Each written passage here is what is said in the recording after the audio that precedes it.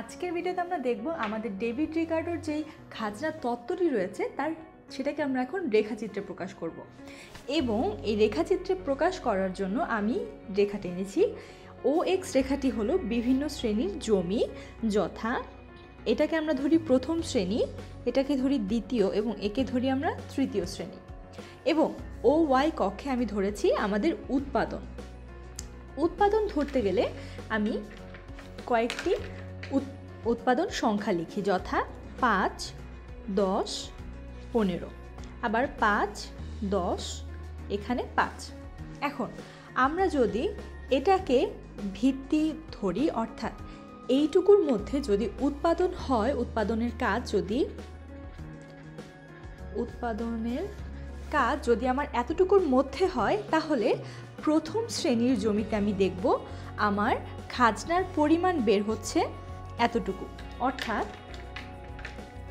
আমি যখন এই ও জি ডিসি ও জি ডিসি এটাকে ভিত্তি করে উৎপাদনের কাজ করব, তখন আমি দেখছি যে আমার প্রথম শ্রেণির উৎপাদন হচ্ছে এতটুকু।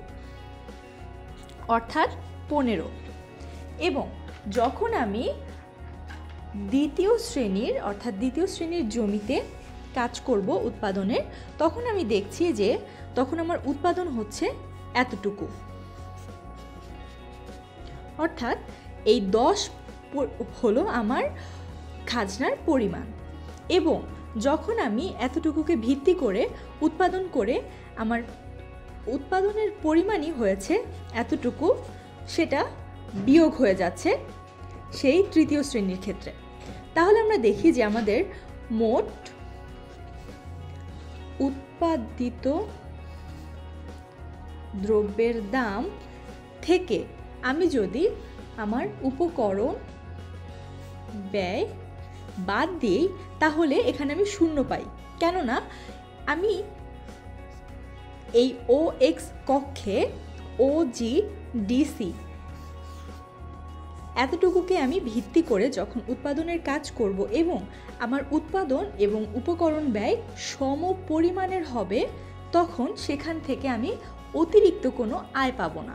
এর ফলেই সেখানে শূন্য খাজনার সৃষ্টি হবে। ফলে এই জমিটাকে আমি বলতে পারি, অর্থাৎ তৃতীয় শ্রেণির জমিটাকে আমি বলতে পারি আমাদের প্রান্তিক জমি। বন্ধুরা, এটাই ছিল আমাদের প্রান্তিক বা খাজনাবিহীন জমির ধারণা। কিন্তু বাস্তবে প্রান্তিক জমি বা খাজনাবিহীন জমি আসলে তেমন একটা পাওয়া যায় না। এর কারণ হলো যে প্রাণ কোনো ধরনের জমিতেই একই রকম দ্রব্য, একই রকম শ্রম বা মূলধন প্রয়োগ করা হয় না এবং প্রত্যেক শ্রমেরই, প্রত্যেক জমিরই বিভিন্ন ধরনের উপযোগিতা রয়েছে। কোনো জমি বা কোনো ধরনের যোগানই সম্পূর্ণ খাজনাবিহীন হতে পারে না। তাহলে আমরা দেখলাম যে আমাদের এই যে ডেভিড রিগার্ডোর খাজনা তত্ত্ব, এর মতে তিনি কীভাবে জমিকে তিনটি ভাগ করে তার খাজনাগুলোকে বিভিন্ন ভাগে পেশ করেছেন। পরবর্তী ভিডিওতে আমরা দেখব যে ডেভিড রিকার্ডোর খাজনা তত্ত্বের সমালোচনাগুলো। কী